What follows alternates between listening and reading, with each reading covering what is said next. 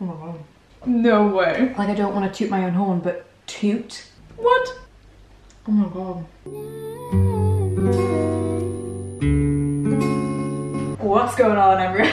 Hey, what's going on? No, don't say that. Doing intros is impossibly hard. Hey, welcome back to my channel. Today you are balancing on a sugar pot, which is very apt because today we're going to be doing some Christmas baking. This video was originally going to be baking a cake for hitting 10,000 subscribers. Have I mentioned I hit 10,000 subscribers? I'm like ridiculously grateful and also kind of confused, but I'm to take it nonetheless. But I can't find my cake tin, so this is actually just to be a loaf cake, as in a square loaf. So not really a cake, well kind of a cake. It's up to interpretation. Okay, hey, it's me from about an hour in the future. I just came on to say that this recipe is on my Instagram. So for the full details, go on over there. Just a little plug from me. Enjoy, enjoy the video. Of course I'm gonna make a Christmas theme, so it's gonna be chai, chai spice. And as always with me, I am making it up. I do have a few ideas in my head. I made a note of them, I wrote them down. Don't know if it's gonna go well, but we're gonna see. Fingers crossed. This is me writing the recipe. What I kind of do is I go off like recipes that I've baked previously and use them as reference just for like the ratio of flour and things. So I think I'm gonna do like a mixture. I think I'll use buckwheat for this one. And I know that buckwheat is quite a dense flour, so you need to mix it with something a bit lighter. Anyway, this is a bit of baking science for you. One, cut. Anyway, cut back to me doing something else. We're gonna start by lining the pan. Hang on. You wanna get some oil down and then, oh my god, I just have enough. I only have the smallest amount of baking paper left. Just my luck. it's perfect! Someone was really on my side today. Check it out! What the heck? It's like I planned it. I didn't, I didn't. So, I'm gonna be using buckwheat as my main flour for this. I love like the nutty sort of, nutty flavour it gives. Listen, I never said I was the best at describing things, but um, yeah, buckwheat's great. Buckwheat is great. It will come as no surprise to you that I shall be using the KitchenAid.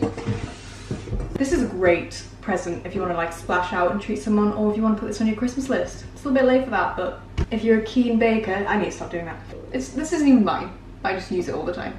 That's why I love living at home. I wanted to talk about that actually. Still living at home in your 20s and feeling like you're a bit of a failure. I feel like it's such a stigma to still be living at home, especially after you've graduated.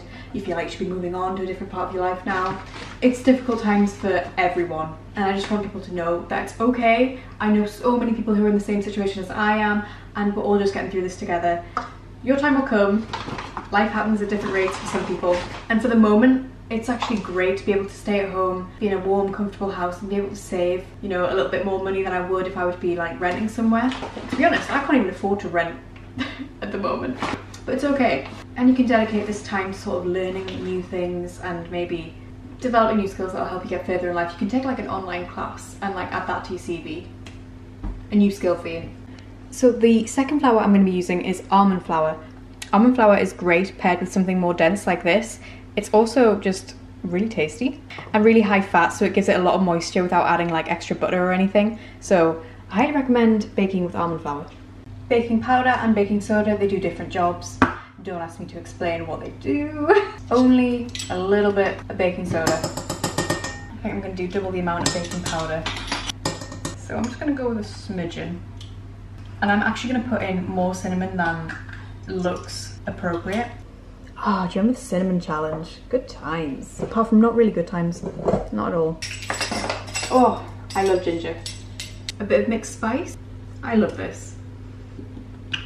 So, that was quite a bit. Dudes, I forgot to add the sugar. I think I'm gonna go for about a cup of sugar. Like, I want it to be a sweet cake. That's the whole point of a cake.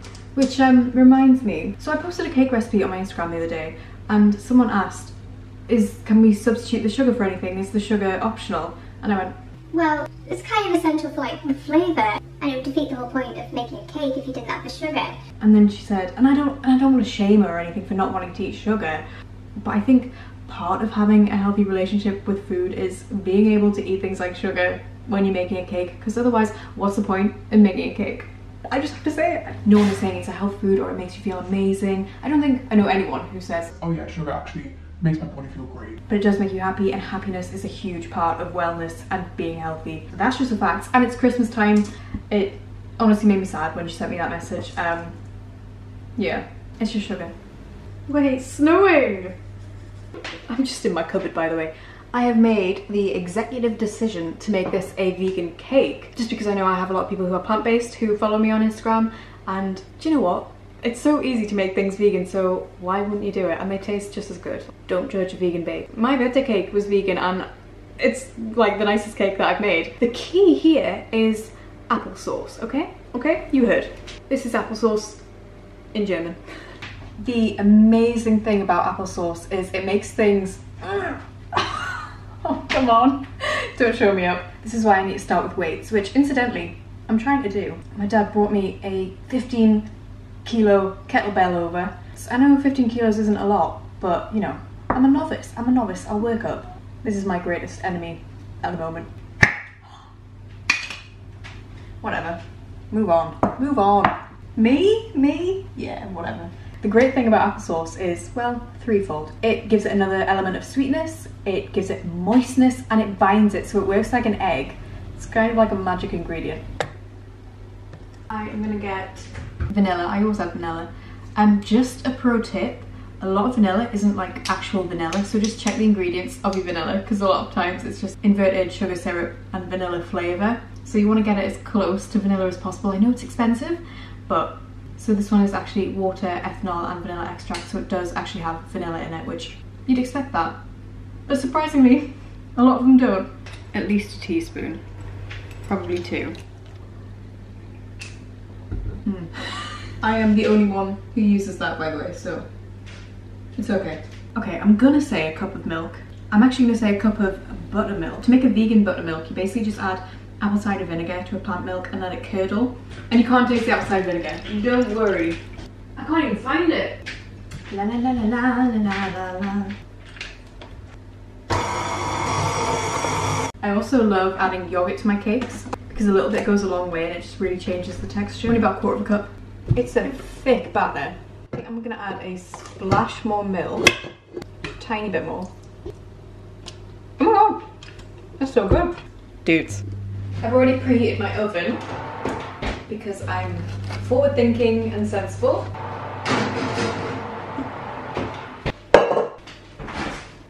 Obviously vegan batter means I accidentally left, you know, loads of batter in here purely by accident. Imagine as if I don't eat non-vegan batter. But I've never known anyone to be ill after eating batter. Mm. I get asked all the time whether I'm vegan. Obviously, if you've seen my full week of eating videos, I eat heavily plant-based. I feel good eating that way. I know it benefits a lot of the environment eating that way. I've just found a nice balance and I feel the best this way. And as long as I'm making a positive contribution, I think that's the best that we all can do. As long as we're all conscious consumers, I think that's a good thing. But I think for me personally, just living without a label is the best way to go. I asked on my community tab what you wanted me to talk about and a lot of people were saying sort of like mental health tips and activities to cope during quarantine. So I definitely say uh, like how to stay sane in lockdown if you're still in that situation. We're technically still in a lockdown. We're in tier three, which is the highest tier you can be in, so lots of rules on our way of living. So to counteract that, I'd say don't focus on things that you can't control, focus on things that are within your control. So you can learn things, you can make things, you can still talk to people, you can still to the best of your ability, keep in touch with your friends and loved ones. You can still have those good times, you can still make memories. It'll just be harder and maybe virtual, but just try and focus on the positives because it can be so draining when all of your thoughts are going towards what you can't do. It's just a negative headspace to be in. I would also recommend as, um, I don't know, as sort of superficial as it sounds, treat yourself, like buy yourself something. You get a natural serotonin release when you make like a nice purchase for yourself and depending on what the purchase is, it can be really beneficial to your life. Like, for example, buying a light box which really helps with seasonal affective disorder. Basically it's just like light therapy which helps with balancing out your circadian rhythm and stops you from getting those winter blues. Obviously not 100%. It's like a gift for yourself. Someone asked me, what are your Christmas plans? My Christmas plans are just to spend it with my family. We have a family bubble of my dad, my mum and my sister. Thankfully we live in three households and we are allowed to combine to make one Christmas bubble, and we're probably just gonna watch loads of films. Actually, I'll tell you what we have booked. We booked a drive-in cinema to sit in our car and watch The Grinch. Hello heaven. How fun is that gonna be? More tips for your mental health. Have a cleanse of your social media. If that means unfollowing loads of people who don't benefit you, or if that means deleting the app entirely, do what's best for you. Also try baking. Take up baking, it's very cathartic. Hobbies outside of cooking and baking. Have I got my head? How long have I had that my head? I love anything creative. So I love writing, big movie buff. I also love gaming. Like I'm a big gamer. Always have been. I'm really loving the Game Pass this season on Xbox. Being productive when you feel like you're emotionally drained. I feel like that's your body saying give yourself a break so you don't always have to be productive. And once you've had a sufficient break, then you'll feel more motivated to be productive. But tips for being productive in general, I feel making lists, always making lists, setting timers to get jobs done by. So say you want to have your room tidied, set a timer, maybe 30 minutes, and then you'll be less inclined to take breaks and maybe procrastinate and do something else because you've got that 30 minute timer, you've got an end goal, it'll give you more drive to get it finished within that time, and then you'll feel really accomplished, and it's great. I ended up putting it in for about 35 minutes. She's got to cool now before I ice her, but bloody hell, she smells amazing. Frosting, icing, is just going to be some coconut the yogurt. The thicker the better, ladies and gents. With, I don't know how much maple syrup. Has it had time to cool? No. Am I going to ice it? Yes. Look at that. Come on. It's pretty thick. I may have to get some more coconut yogurt. I'll make it work, I'll make it work. She smells amazing. Okay, I never get it right. I think I'm gonna go for, no. She's so soft. I've gotta have a slice or two right now. What time is it? Half 11, that's fine. Can we talk about the fact that this is gluten-free and vegan? What? Guys. Now that I've taken some pictures, I am gonna eat one. I have to. Do you know I love doing this in front of a big open window where people walk past. Actually, what? No way. Pretend I didn't just do that dance. But these. That's better than like a non-gluten-free, non-vegan cake. Bro. Oh my god. Like I don't want to toot my own horn, but toot. Oh my god. I think all that's left for me to say is thank you for watching. I hope you enjoyed the video. Remember to like and subscribe and I'll see you next time. Peace out. Peace out.